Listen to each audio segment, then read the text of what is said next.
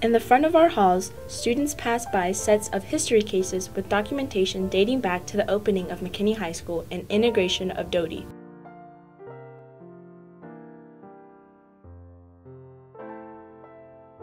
I'm not always looking at them when I'm going into the clinic.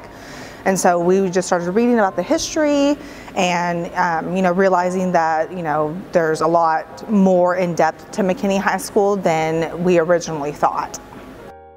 It wasn't until 1913 that the school's first yearbook was produced, The Bison. In 1915, the first choir program started, first band program, first student council, and first German club. It wasn't until 1925 that McKinney High School became the Lions. When the newly founded Lions Club bought our football team new uniforms, students changed their mascot from Bison to the Lions in honor of this club.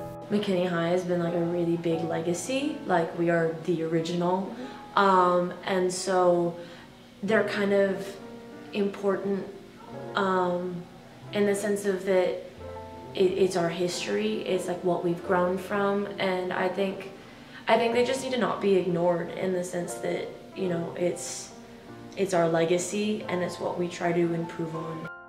The class of 1956 was the first and only class to graduate in white gowns. They wear the white and gold stole.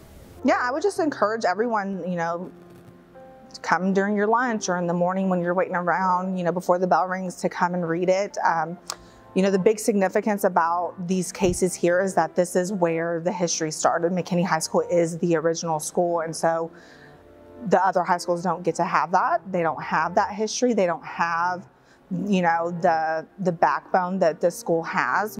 Though most students ignore these cases, we should take time to appreciate the rich history of our school and community. This has been Andriana Chamorro, Dulce Nunez, and Landon Harrison signing off from HS1.